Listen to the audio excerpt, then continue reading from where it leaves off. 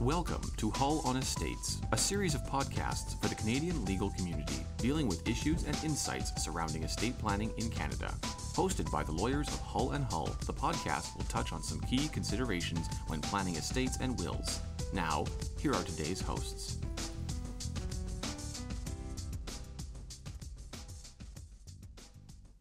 Hi, I'm Doreen So. And I'm Darien Murray. Welcome to Hull on Estates. You're listening to podcast number 669. How are you, Darien? I'm good, thanks. How are you? I'm good. I'm good. Today we're discussing a case involving an attorney for property. It's a case called McKenzie and Morgan. You actually brought this case to my attention, and I actually thought like the facts were super interesting. You want to tell me like um, about the facts in this one, and maybe a little bit of why you picked. Yeah, for sure. So, like Doreen was saying, she found the facts interesting. I also found them very interesting, which is why I kind of thought it would be an interesting case to blog or yeah, sorry, to do our podcast on. So this case is regarding uh, power of attorney issues. So Miss McKenzie is the attorney for property and personal care for her father, Mr. Morgan, who was diagnosed with dementia. Uh, Mr. Morgan was in a common law relationship with Miss Morgan. Despite having the same last name, they weren't actually married, just in a common law relationship. Um, so Miss McKenzie was contesting that they actually were in a common law relationship, but it doesn't end up being much of an issue in this case because the judge finds it fairly clear that they were in a relationship. Uh, for example, Mr. Morgan proposed and Miss Morgan wore an engagement ring. Mr. Morgan owns three properties and Miss Morgan lives in one of them, which for ease of reference is the Springdale property. So she lives there under a tenancy agreement with Mr. Morgan. She pays him rent, and they had a rental agreement drawn up with the assistance of a lawyer. Uh, in Mr. Morgan's will, he included a clause stating that Miss Morgan can live at the Springdale property for the rest of her life or until she chooses to move out. And then at that point, the uh, property would form part of the residue of the estate. So, as a further background to this litigation, there was prior litigation between two of Mr. Morgan's children. Um, Miss McKenzie, who is the applicant in this matter, she was involved in litigation with her twin sister, Miss Dixon. Um, so at the time of that litigation, Miss McKenzie and Miss Dixon were jointly Mr. Morgan's attorneys for property and personal care. Uh, that matter ended up settling, and the settlement involved Miss Dixon stepping down as attorney for property and personal care, and Miss Ken- Miss McKenzie being entitled to live rent free with Mr. Morgan in his home. Uh, that one's the Bracebridge property and then being paid $5,500 a month as his caregiver. So the issue now is that Mr. Morgan wasn't sufficiently liquid enough to continue to pay this caregiving fee that Miss McKenzie had arranged. So he's now in debt to Miss McKenzie. Um, and Miss McKenzie is looking to sell the Springdale property because she says Mr. Morgan needs those funds in order to pay her fees and just to sustain his needs in general. So in May of 2022, Miss McKenzie tried to list the property for sale without consulting with anyone first, and Miss Morgan refused to vacate the property. So when that happened, Miss McKenzie applied to the court for a determination on whether she could sell this Springdale property. Um, like I said, she claims it's necessary to support Mr. Morgan financially. So the issue in this file or in this case, sorry, regards Section 35.1 of the Substitute Decisions Act. Uh, Section 35.1 sub 1 prohibits an attorney for property from disposing of property that's the subject of a specific testamentary gift in a person's will, unless it's necessary to comply with the attorney's duty or it's a gift of property to the person who is entitled to receive it under the will, and the gift is permitted by Section 37 of the SDA. So I was interested in this case after I read it because I hadn't really come across anything so far that was regarding kind of the sale of property of a specific gift. So I was intrigued to read this case. And then I, when I was speaking to Doreen, we thought that it would be a, a, a great case to do a podcast about. Yeah. Cause I think like even just from like your background and summary of the case and what the issue is, this matter really it like it's such an onion, right? Mm-hmm. Like there's yes. so many layers involved. Like we started with like the person at issue, the person who is you know, in the middle of like a substitute decisions act proceeding, the person who is incapable and who's under the care of somebody else, um, this time through a power of attorney, we, you know, we've already heard that he has a spouse, a spouse that lives on one of the properties, where like that spousal relationship is sort of being like questioned and challenged by, you know, Mr. McKenzie, substitute decision maker, POA, one of his daughters, Ms. McKenzie. But then we also hear, oh, previously, actually, there were two POAs appointed. There were like two girls appointed to act together. And then when those two girls couldn't come to an agreement about how Mr. McKenzie should be taken care of, there was like that prior proceeding and it led to a court order and a court order that resulted in, you know, monies being paid to the POA, POA being able to like live rent free on one of the properties. And then all of a sudden, again, the order isn't working out. There isn't enough money. And all of a sudden, this goes back into court. And so the complexity of all of this is where I actually found it the most interesting rather than even the application of Section 35.1 in and of itself, because it really just goes to show you how complicated life can be at the individual and at the family level. Because, like, so far, we've only actually talked about like two kids or actually five kids. There's three properties. And so, like, it's a pretty big like cast of players, and it's really obvious when you read this decision that everybody's fighting. Poor Mr. He, he's 85 years old. He has dementia. There are medical reports about him like needing like a lot of help with like all of his activities of daily living. But everybody in his orbit are essentially fighting each other um, at least they're not fighting him, but they're in a disagreement about sort of like how he is living his life, where he lives it, um, who he gets to see, because like access amongst like all the different children and with Miss Morgan is also like another issue. And, you know, then it just again always comes down to the finances. Um, but because it any cases about Section 35.1, it, it's generally on the rare side because I think it really should be. And like the reason why that particular provision of like the SDA is there is actually like a really important one because it's all about not defeating the capable person's testamentary intentions. They were intentions that were put into place, like someone took the time, went to a lawyer, got a will done, said this is what like she wants when they die, and then becomes incapable after that point in time, then what can what can their like POA or guardian do? Can they then still sell off a property, even though in the will says like, oh, Miss Morgan gets to live in this property under the same tenancy agreement as they had like during McKenzie's life for the rest of her life, or you can actually sell.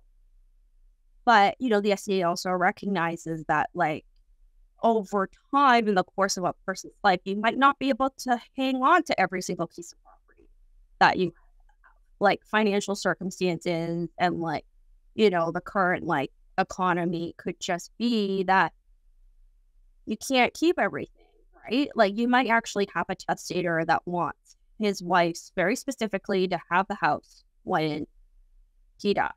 Mm-hmm. That makes so much sense. But what if a couple really only has this one house?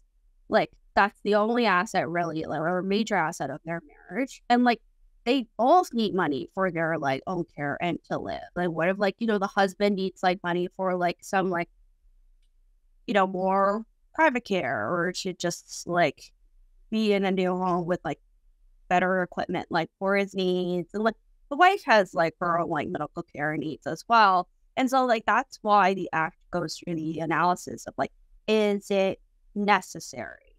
Is there something else that can be done before you sell off this asset that's like subject to a gift? And even when you do and it is necessary, then like what happens with the money? So yeah, what do what do you think like the court really actually went through in their analysis of this one, Darren? So I think in this case it really hinged on the fact that the judge didn't necessarily 100% believe Miss McKenzie's evidence and her reliability.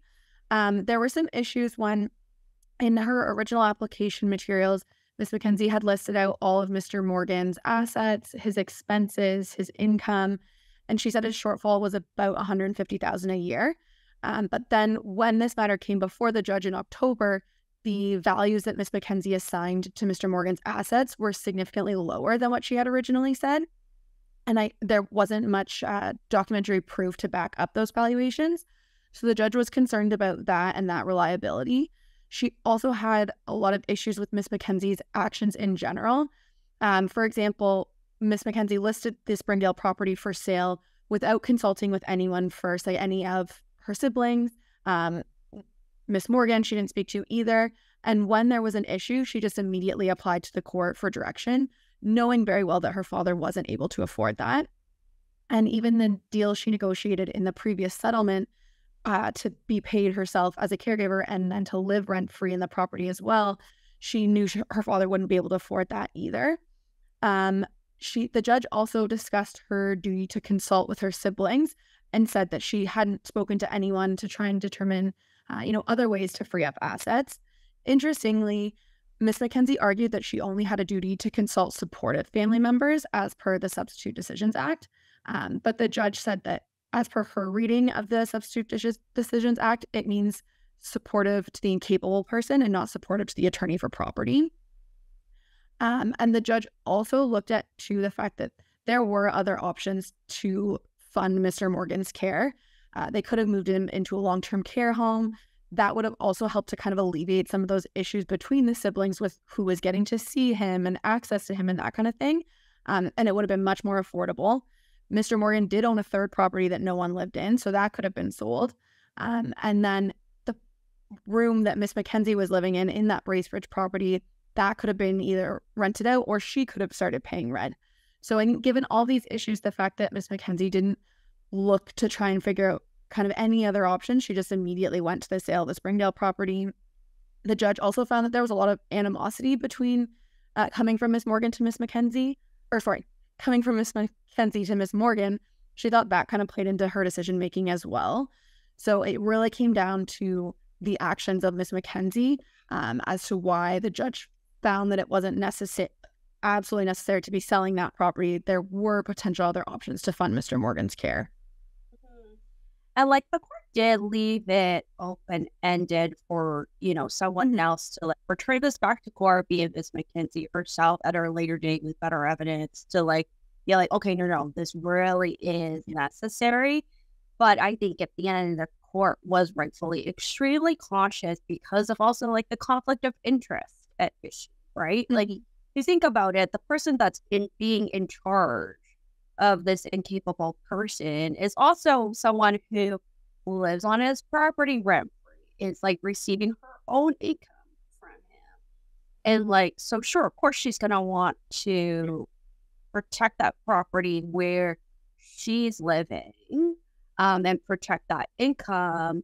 Even though, like, at the end of the day, like, that might very well not be Miss McKenzie's intentions or in- intentions could just be, like, actually beyond reproach. But, you know, on paper, that is kind of a starting point that like the court has to be really, really critical with. And it then becomes something the court also really struggles with because there's nobody else putting forward evidence, like say on Mr. McKenzie's behalf and maybe like what he wants, aside from like say like the evidence from Miss Morgan, and she also had evidence from like say the other family members. But at the end of the day, you know, when it comes to the powers and obligations of the substitute decision maker, like a power attorney or a guardianship of property, you really, really have to refer back to the Substitute Decisions Act. And it's actually good for people to say, like, always have counsel even before you take any major steps, such as like a selling of an asset. Because this idea that Ms. McKenzie just put up a for sale sign, didn't consult with anybody, um, didn't factor in like Miss Morgan's like testamentary gift. Well, that was something that also like I, I think it, you know, when it goes to court, there's something like, you know, maybe like that just didn't really like, right? Like, um, and so it's always better just to be aware of those obligations before you bring like the matter to a head. Um, and if it is actually necessary, if it is found to be necessary by a court, the sale of an asset like this, there is another provision under the SDA at Section 36 that deals with what happens to like the proceeds of sale. So, like under my same earlier scenario about like that married couple, the husband's incapable, the wife has his POA, and they just together have this like one house, and it's really necessary, really actually for the both of them to sell. Well, then what happens to like the proceeds of disposition? to the extent that there is any of like the proceeds left, the proceeds like will go to like the person that it was intended for, like in like, the actual asset itself. And if at the end of the day there isn't enough of a residue left, you still pay out the full proceeds of sale. You that the person who gets the gift under the will will still get like a rateable amount of what's left in the mm-hmm. residue. So like the legislation still recognizes like hey, a gift was intended here and it is trying to do like the most like objective as well mm-hmm. as ball saying as to like well what happens just like when things change and you do to sell. Yeah, thanks for listening to our podcast. Until next time, I am Doreen So. And I'm Darien Murray. Should you have any questions, please email us at info at hullandhull.com or contact us through the contact page on our website.